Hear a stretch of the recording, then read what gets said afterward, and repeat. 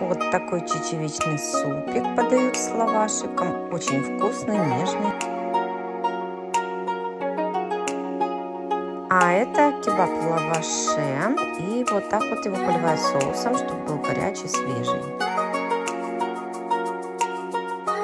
А так как мы находимся рядом с набережной Измира, то почему бы после хорошего ужина не пройтись и не прогуляться и э, за закатом солнца.